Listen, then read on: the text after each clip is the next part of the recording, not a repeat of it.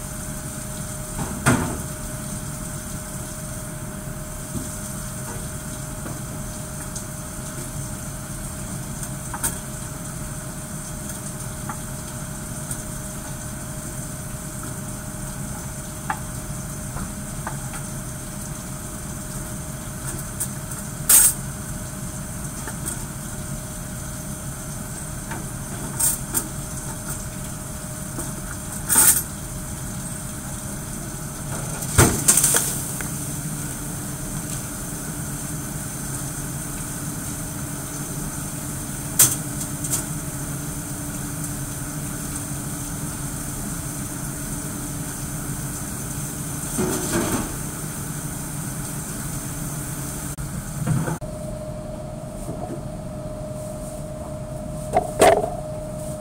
nag-dishwasher na tayo ngayon.